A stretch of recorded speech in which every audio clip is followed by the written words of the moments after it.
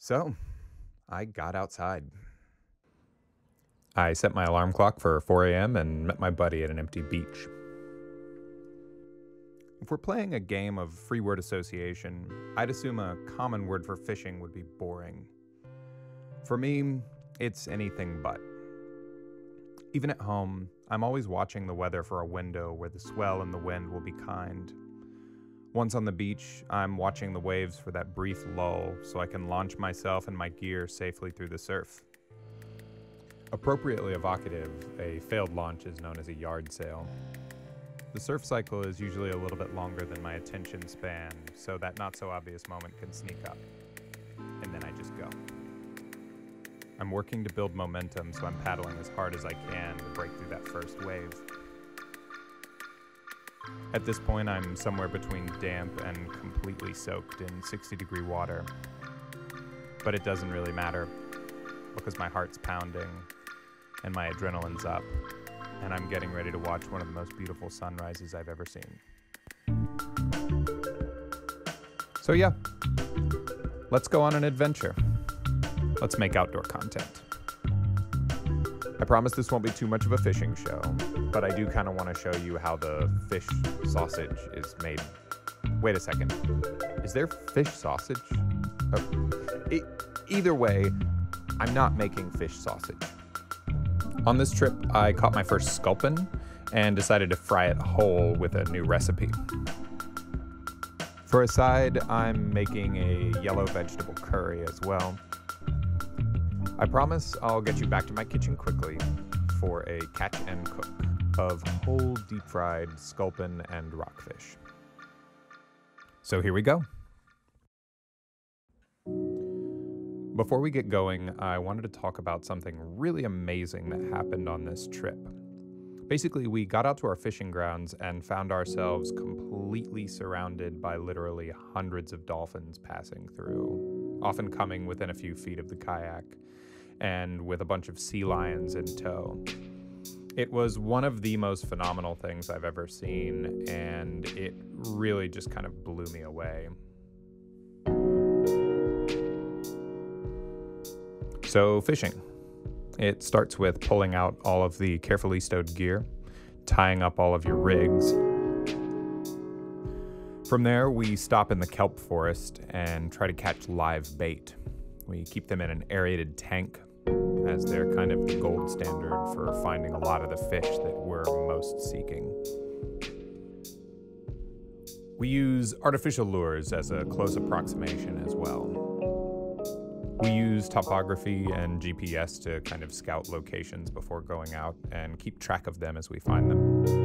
The ocean can be a little bit of an underwater desert, so you're always looking for structure that supports these dense food chains. Generally speaking, once you find the structure, you find the fish. We also use sonar to find what we can't see on the maps and kind of carefully catalog our spots. All of this is with the intent of hopefully bringing home some food. So, what did I bring home? Well, this is a lingcod. Man, do they captivate the imagination. Like undersea dragons with fanged teeth, sometimes bright blue in color, they're extremely aggressive predators.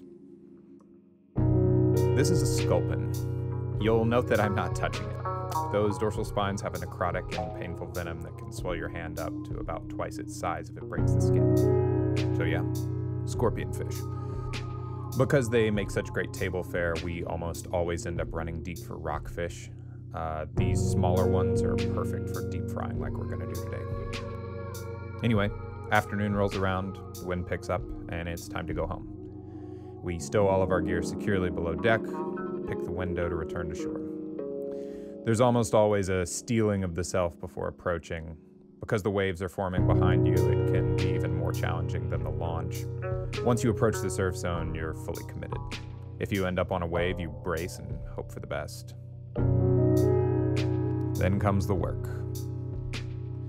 Depending on how much fish I caught, it's probably about 150 pounds worth of gear to haul up a flight of stairs or a steep cliffside, load it into the truck, and then make that long drive home. Once I'm home, it's unload the truck, bring everything into the yard, Clean all the salt water off of all the gear. Wait for the sun to dry all the gear. Organize it put it away. Care for the catch. And from there, it's pretty much a race against the clock before passing out. Anyway, that's it for the catch. Now for the cook. I'm gonna start with my side. I'm making a really basic yellow curry with a whole bunch of various vegetables. Generally, you start by heating up some oil and adding curry powder if that's what you're using, letting it kind of cook down a little bit. Throwing in my onions, letting those brown. While that's happening, I'll go ahead and kind of peel some ginger and get rid of my chef's knife and use an actual paring knife. That's much better. Adding all my ingredients in with a can of coconut milk and pretty much just leaving that to simmer for a bit. On to the fish prep. I'll spare you the gutting and scaling, but once I'm past that, I generally like to keep my fish wrapped in paper towels in a Ziploc bag on ice in the fridge. From there, I really just want to make sure that everything is really dry. Um, when you're deep frying, any extra moisture can be downright explosive. As I mentioned, I've already removed the scales. Now I'm just going to score the skin lightly, just to kind of increase surface area, help it cook a little bit more evenly. Because my household is currently hashtag keto, we're going to be dredging lightly in coconut flour before we fry. I also found accidentally that this just pairs amazingly with the sauce we're about to create. Let's talk about that sauce real quick. It undoubtedly makes the dish. You start with a base of fish sauce for this bomb of umami, salty, savory. From there, I'm adding sugar for sweetness, just kind of whisking that together. Lime juice for a sour, acidic component, and a little bit of the zest for a slight bitter. Green onion for our aromatic. Thai chilies for Oh, so much heat. And cilantro. I'm not done talking about this sauce by a long shot, but for now, let's turn over to the stove where we're getting ready to deep fry the fish. So I'll be using a high smoke point oil. In this case, it's kind of a rendered uh, bacon lard that we just have on hand in the house, always. The wok is great because it creates a nice deep well for the oil uh, so that you don't have to put too much in. After knocking off any excess flour from the fish, we very carefully lower it into the hot oil and start the fry. I found that it's much easier to undercook than to overcook, so you really just want to let them go uh, until you get to a point where it's just an almost impossibly ardent golden brown. Uh, the crispier the skin, the better, uh, without really making the meat too tough. But yeah, 10 15 minutes worth of frying. For the plating, we're going to peel and rough chop or julienne some cucumber to rest the fish on. From there, it's just as simple as kind of coating with the sauce itself pretty generously. It's kind of difficult to effectively do justice to just how amazing this dish is. You've got the fat from the fry, the fresh caught fish itself. The sauce is this incredible, bold mix of salty, spicy, aromatic, and sweet with this balance of refreshing cucumber underneath. No question, 10 out of 10. From the lighting and the ingredients, you might note that I cooked this across two different sittings. In our first setting, we didn't have all of our ingredients, so we used red onion and jalapeno instead of scallions and Thai chilies. With a slightly milder flavor in the peppers, it actually let the coconut flour really come through. It was a much more delicate and subtle flavor, and it turned out really good. I think it just speaks to how experimentation in the kitchen can lead to some really amazing results.